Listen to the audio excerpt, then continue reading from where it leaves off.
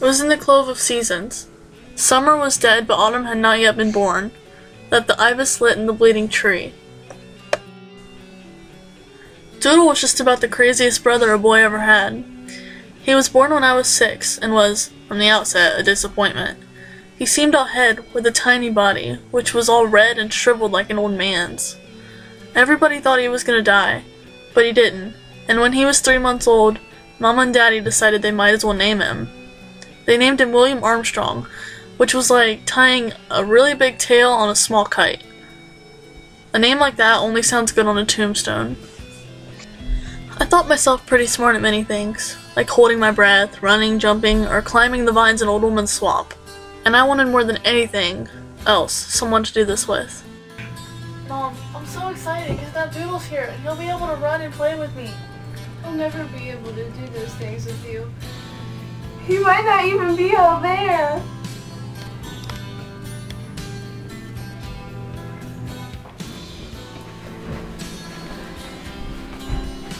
I just can't have an idiot brother. He looked straight at me and grinned. I skipped through all of the rooms, down the echoing halls, shouting, Mama, he smiled. He's all there. He's all there. He's all there, Mama! And he was. But something had to be done about his name. I was the one who renamed him. When he crawled, he crawled backwards, and crawling backward made him look like a doodle bug. So I started calling him Doodle, and in time, so did Mama and Daddy. They thought it was a better name than William Armstrong. Yeah, renaming my brother was perhaps the kindest thing I ever did for him, because nobody expects much from someone called Doodle. It was about this time that Daddy built him a go-kart, and I had to pull him around everywhere. Mom, I'm gonna go to Old Woman Swamp. I'll be back later. Take me with you, brother. Remember, he can't get too hot or too cold or too tired, and be gentle. Fine. Come on, Doodle.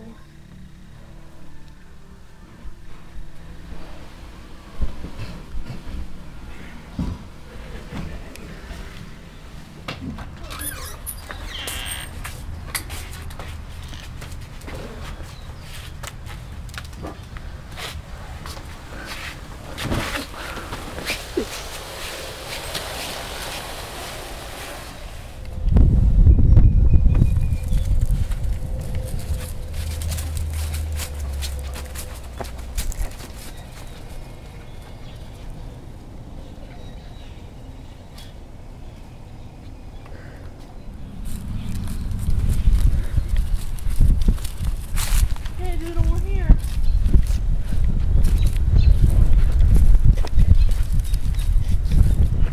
Come on.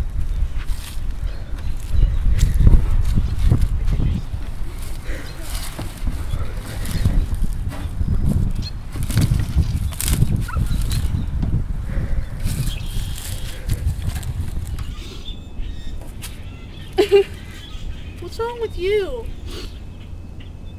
It's so pretty. What? It's so, so pretty. After that day, Doodle and I often went to the swamp. There is within me, and with sadness I have watched it in others, a knot of cruelty born by the stream of love. And at times I was really mean to Doodle. One day I took him up to the barn loft and showed him his coffin. Doodle, I brought you up here to show you something. What is it, brother? That. What's that? That's your coffin. That's not mine. Yeah, it is. No, The brother. doctor thought you weren't gonna make it. What? The doctor thought you were gonna die. No. Doodle, touch it. No. If you don't touch it, I'm gonna leave you up here. No, brother. I will go right now. Don't leave me, brother. touch it. No. Touch the coffin. Ah. When Doodle was about five years old, I was embarrassed at having a brother of that age who couldn't walk. So I set out to teach him. Doodle, I'm gonna teach you to walk. I can't, brother. Says who? Mama? The doctor? Everybody. I'm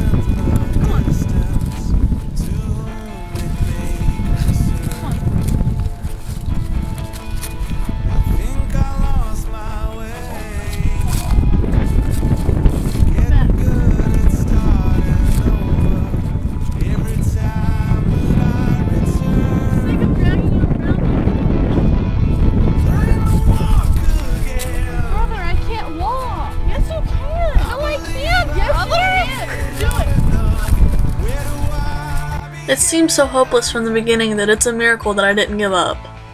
But all of us must have something or someone to be proud of, and Doodle had become mine. Every day that summer, we went to the pine beside the stream of Old Woman's Swamp, and I put him on his feet at least a hundred times each afternoon.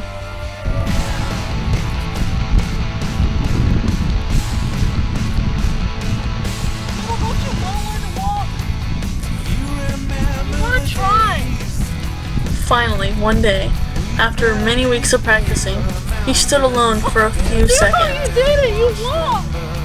You won! I did it! I did it!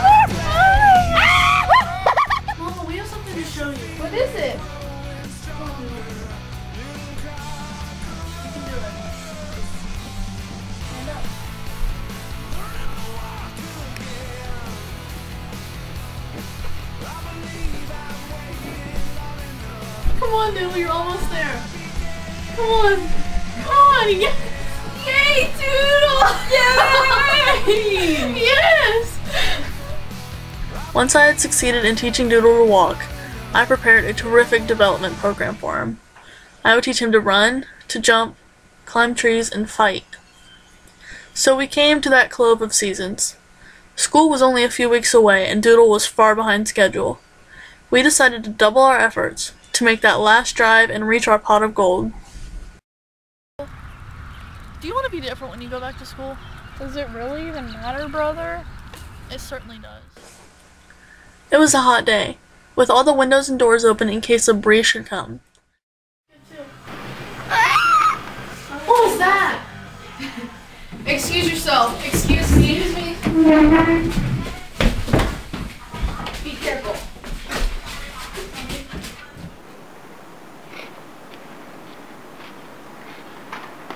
Wait, Doodle! It's a crazy red bird, brother! It's not frightened of us. It looks sick. What is that? It's a scarlet ibis.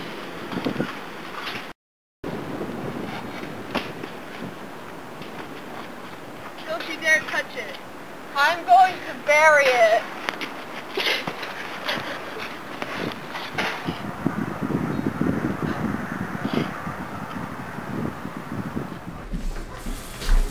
Where's Doodle?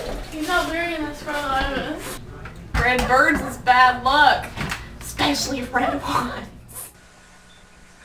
As soon as I had finished eating, Doodle and I hurried off to Old Woman's Swamp. Time was short, and Doodle still had a long way to go if he was going to keep up with the other boys when he started school. It looks like it's going to rain, brother. It'll be fine. Come on.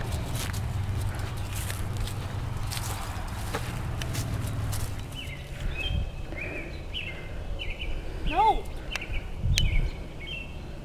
No, Doodle. It's like this.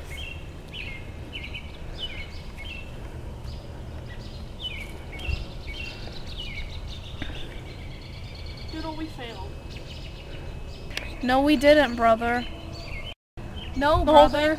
We can still do it. No, we can't. Yes, we failed, We can, Doodle. brother. We failed. Yes, no, brother.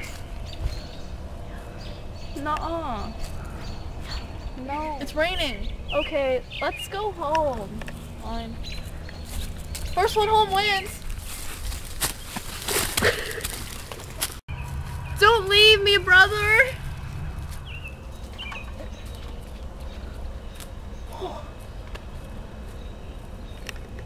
Doodle? Doodle! Doodle! Doodle, come on, let's go home. Sorry for leaving you. Doodle, let's go home. Doodle! Doodle! Doodle, wake up!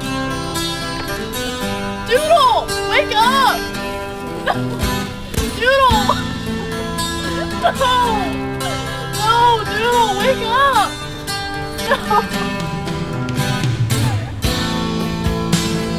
No! Doodle,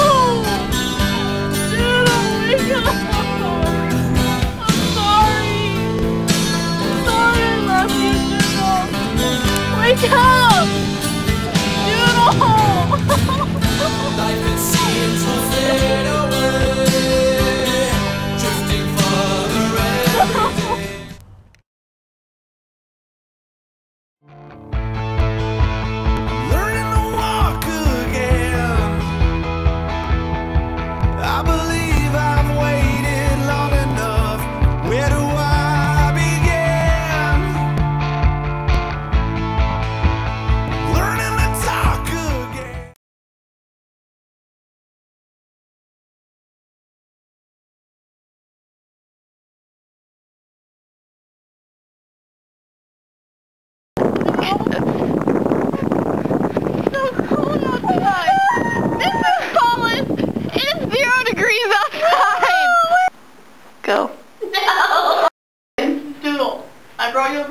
Something. What is it, brother? What is that? It's your coffin. What? The doctor thought you were gonna die. And you, you made me sit right under the tree with a low branch. Is that a short joke?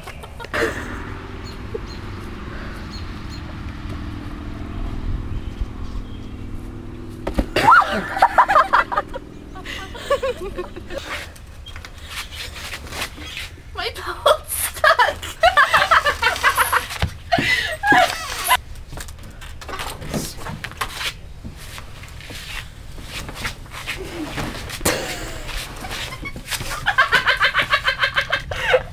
Did you fall on accident or purpose?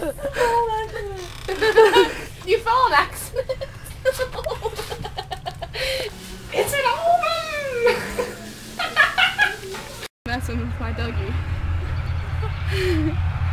Brother, teach me how to Dougie. Teach me, teach me how to Dougie. You're so sick. You're like that. teach me how to Dougie. Teach me, teach me how to Dougie. you know why? Because all the tards love me. Oh, that was scary. What a loser! You're mean! Ready? I don't think that's how they. Apache! Jump on it! Jump on it! Oh, yeah. Okay, stop. You look like you're eating human parts. Oh, it's nasty! okay, I'm gonna pour it on you. No, I thought it'd be delicious. Can you get that shirt dirty? Yeah. I'm gonna pour it on you, okay? No. Is this good? No.